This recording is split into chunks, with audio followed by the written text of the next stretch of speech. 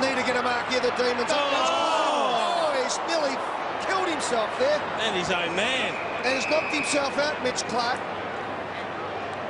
He's in all sorts of trouble here. He